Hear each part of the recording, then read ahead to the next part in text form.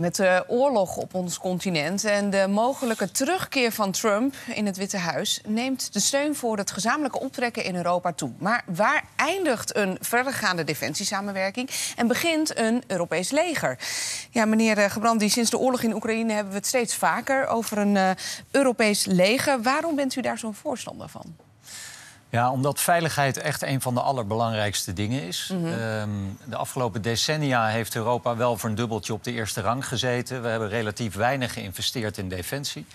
Terwijl de Amerikanen met heel veel geld en manschappen onze veiligheid uh, garandeerden. Mm -hmm. En we zien dat dat niet meer kan. Dus Europa zal dat echt zelf moeten gaan doen. En als je het bij elkaar optelt, de Europese landen, dan geven wij drie keer zoveel uit aan defensie als Rusland.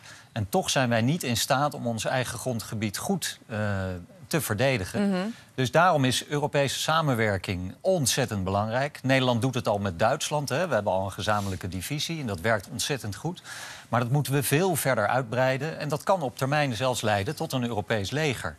En wat ik wel mooi vind uit onderzoeken blijkt ook dat de Nederlander dat eigenlijk een heel goed perspectief vindt. Dat we ja. dat gezamenlijk. To toch zijn er ook angsten, want Nederland zou door Brussel dan meegesleept worden in een oorlog. Snapt u die zorgen? Nee, totaal niet. Want je doet het juist om oorlog te voorkomen. Ja. Dus hoe sterker Europa ook defensief is, hoe kleiner de kans op een oorlog. Dus ik, uh, nee, ik ben daar totaal niet bang voor. Maar hoe meer geïnvesteerd wordt in, in, in, in defensie, ook groter, hoe groter de kans op een oorlog, toch? Waar je geld in steekt, daar, daar komen... Hè, daar, daar komen nee, juist, uh... juist niet. Want hoe zwakker je bent, hoe mm -hmm. groter de kans dat bijvoorbeeld Poetin uh, bedenkt van... goh, die Baltische staten die waren vroeger onderdeel van de Sovjet-Unie... die wil ik wel weer terug hebben. Mm -hmm. En dan hebben we natuurlijk een ontzettend groot probleem. Want dat zijn niet alleen Europese lidstaten, maar ook nog NAVO-bondgenoten.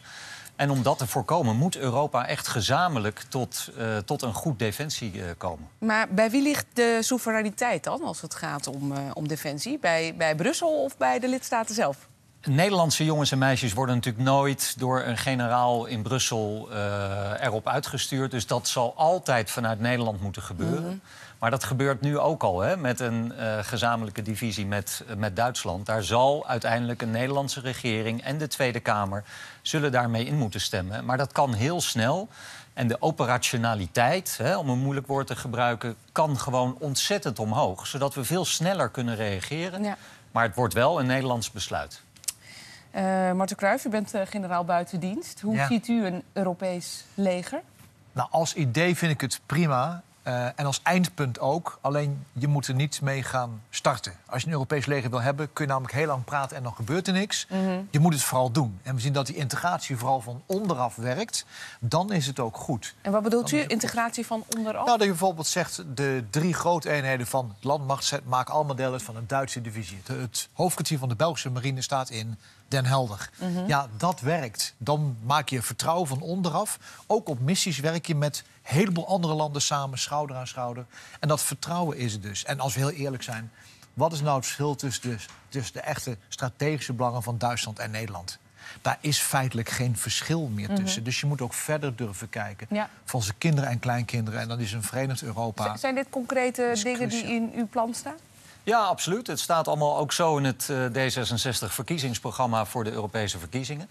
Overigens stond dat er tien jaar geleden ook al. Hè? En ja. uh, toen waren partijen nog niet zo gewillig om naar een stevig Europees Maar er is nu een wake-up call gekomen. Absoluut, absoluut. Ja. En, en mensen voelen dat ook. Hè? We hebben natuurlijk mm -hmm. 80 jaar lang vrede en veiligheid gehad.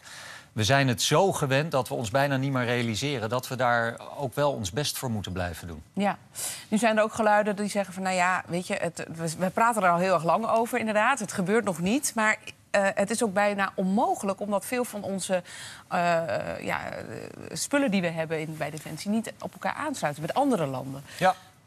Hoe gaan we dat oplossen dan? Nou, dat is een ontzettend belangrijk punt. Uh, je ziet nu dat alle Europese lidstaten... die willen bij hun eigen fabriekje hun eigen ja. uh, geweren en tanks en kogels en noem maar op kopen. Dus we hebben in Europa bijna 200 verschillende uh, wapensystemen. Mm -hmm. De Amerikanen hebben er maar een handvol, waardoor alles met elkaar kan samenwerken. En we merken dat ook bij gezamenlijke oefeningen dat het heel moeilijk is om gezamenlijk op te treden. Dus daar moeten we inderdaad naartoe. Betekent ook dat we dus veel minder nationaal en veel meer Europees moeten gaan denken. Mm -hmm. En dat geldt voor defensie, maar dat geldt natuurlijk ook voor hele andere gebieden uh, in de economie. Dus wat dat betreft zie je ook weer dat een sterke Europa en gezamenlijk optreden op heel veel terreinen, ook voor de Nederlander, veel beter en goedkoper is. Ja, we hebben met elkaar afgesproken dat, uh, om aan de 2%-norm van de NAVO te voldoen. Hier is ook een Kamermeerderheid voor. waarom is het volgens u zo belangrijk?